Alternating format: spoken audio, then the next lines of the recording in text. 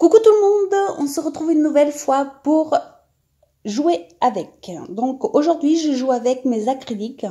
Donc celles-ci viennent de chez Action, mais vous pouvez utiliser n'importe quel acrylique bien sûr. Donc euh, j'ai commencé, cette fois-ci j'ai pas mis de, gesso, mais euh, je vais coller des morceaux de papier. Donc ce sont des pages que j'avais imprimées... Euh, que j'avais imprimé, que j'avais utilisé dans une autre page et il me restait des petites chutes que j'ai coupées en petits carrés pour utiliser sur cette page.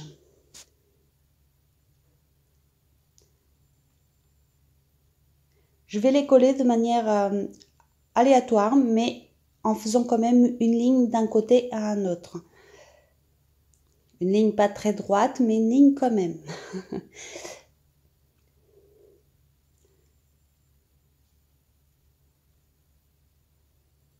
Donc on est déjà à la troisième euh, vidéo euh, de Je joue avec.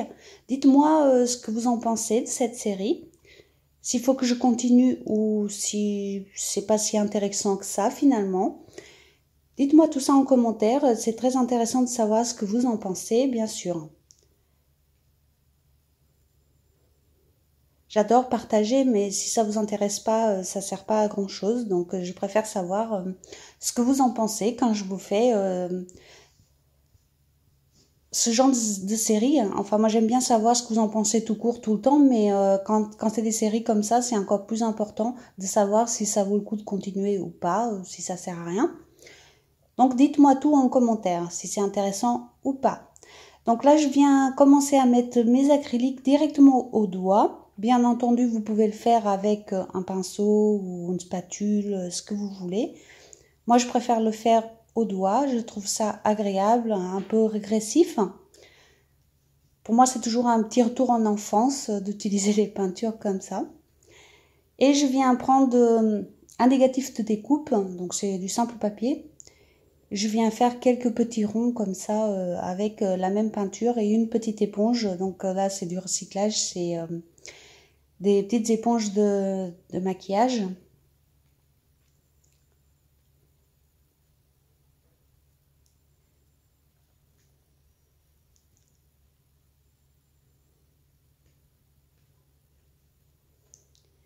Je viens, de, je viens euh, continuer avec euh, une autre couleur, donc ici du jaune. Moi, j'ai choisi ces trois couleurs-là. Bien sûr, vous pouvez prendre vos couleurs préférées, euh, ce que vous aimez. Moi, là, je trouvais que le contraste était chouette avec l'image que j'ai choisie au début, que vous avez vue au début. Car, comme je vous ai expliqué dans les autres vidéos, cette fois-ci, j'ai choisi mes images avant de commencer la page. Enfin, mes images, mon image en tout cas avant de commencer la page, car ce sont des images que j'ai d'avance et que je veux utiliser. Et donc, je trouvais que le contraste était intéressant de mettre des couleurs très vives avec, euh, cette image, tout simplement.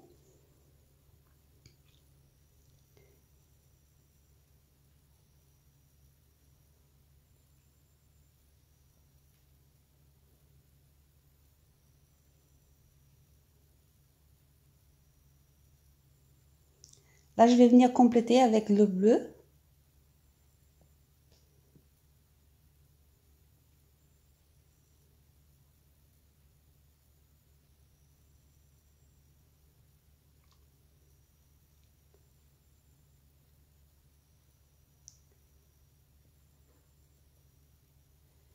Euh, l'acrylique, quand elle est un peu trop épaisse, on peut la diluer un petit peu avec de l'eau.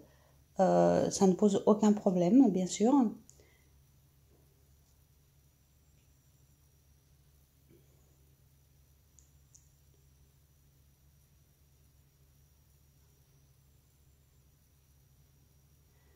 Autant que j'adore les sprays et euh, les poudres, les pigments, etc., je trouve quand même que l'acrylique qui donne quand même des pages très peps, très, euh, intéressantes aussi. Donc euh, moi, vous savez que j'adore changer de médium, mais, mais je trouve que c'est intéressant quand on a envie de, de couleur, quand on a envie que ce soit un peu pétant. Les acryliques font très bien ce job. Et comme je vous ai dit, étant donné qu'on peut le faire avec les doigts et tout, c'est très régressif. Et, euh, et ça fait plaisir d'utiliser les acryliques dans ces conditions.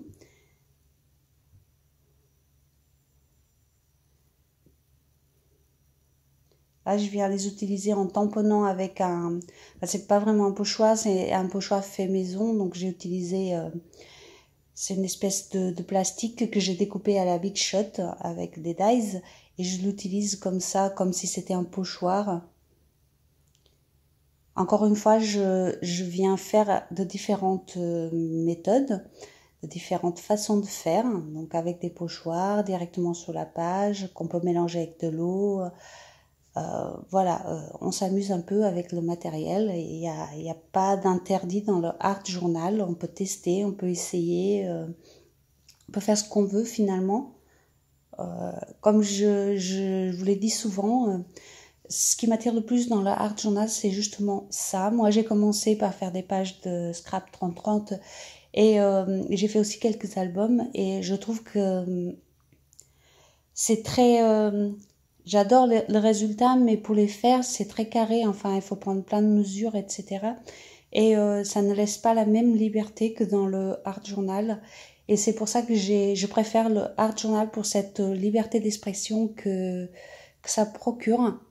Euh, l'art journal et le mix média, je pense que c'est euh, les, deux, les deux choses qui procurent le plus de liberté. Après, comme d'habitude, ce n'est que mon avis, mon ressenti. Donc, euh, il y a des gens qui font des trucs super en, en album, en tout ça, et j'admire.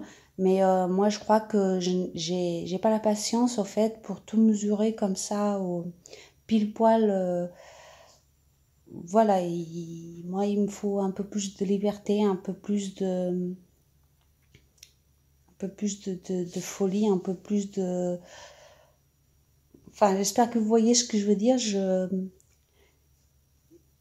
j'ai besoin de, de, de, faire comme ça bien, sans forcément mesurer, sans forcément calculer. Et c'est pour ça que le art journal, je pense que ça reste quand même quelque chose qui, qui me correspond à moi, à ma personnalité. Donc là, euh, je viens euh, avec un... En fait, c'est un fond de gâteau que j'ai récupéré et j'aime beaucoup, beaucoup, beaucoup euh, les traces qu'il fait quand on met de l'encre. Donc je l'utilise comme si c'était un tampon. Je sais, hein, ne me jugez pas, j'utilise beaucoup de récupération dans mon art journal. Je l'ai toujours fait depuis le début et je continue de le faire parce qu'au moins ce sont des choses qu'on ne trouve pas partout ni chez tout le monde et, euh, j'adore le faire comme ça donc euh, voilà c'est mon choix vous verrez tous les trucs que j'ai en récupération je vous montre pas toujours tout euh, parce que bah, parce que je sais que tout le monde ne comprend pas tout le monde pense des fois les gens ils pensent qu'on est obligé d'avoir vraiment des grandes marques et tout et, euh, et, du coup, je vous montre pas tout, mais euh, j'ai énormément de choses en, récupération euh, pour faire mes fonds, etc.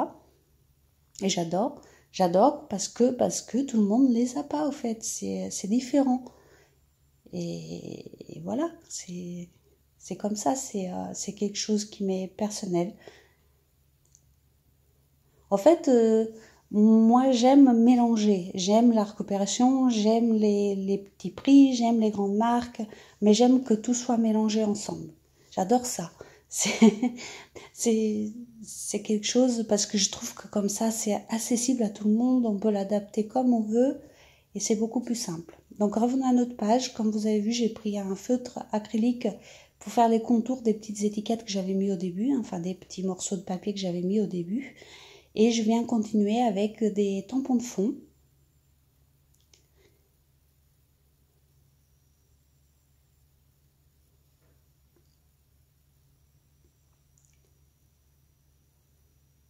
Comme toujours, j'utilise les tampons de fond euh, partiellement pour avoir les parties qui m'intéressent le plus sur cette page et pour pouvoir euh, marier les tampons entre eux je continue avec un tamponnage, euh, des tamponnages euh, écriture.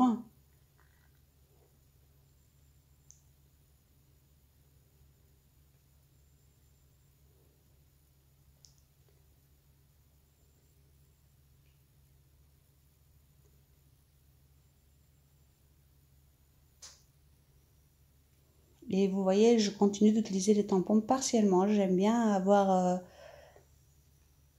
juste une petite marque, mais sans avoir le tampon en entier. Là, je viens utiliser ce tampon croix que j'adore. Hein. Je trouve qu'il va très bien sur plein de pages et j'utilise très souvent d'ailleurs.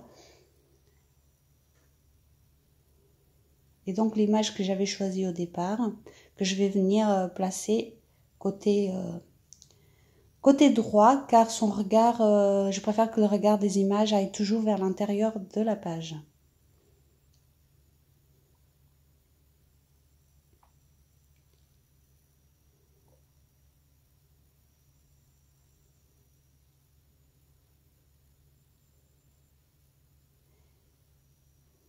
Et là, il y a j'ai trouvé une phrase que je trouvais qui allait bien et avec l'image et avec euh, mon ressenti du jour, qui est euh, vous ne pourrez jamais enfermer un esprit créatif.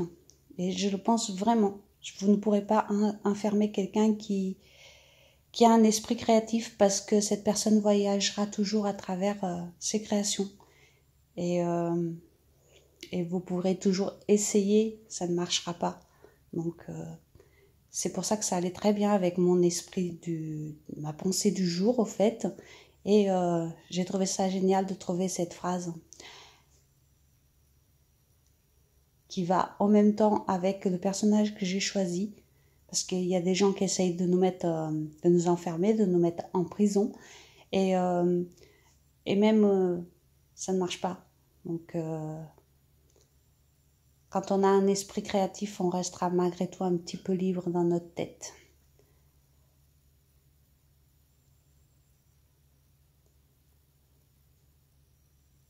Donc je viens continuer, là l'image s'était un petit peu mal collée, donc je viens remettre un point de colle et euh, je fais un petit trait euh, au stylo gel autour de, ma phrase.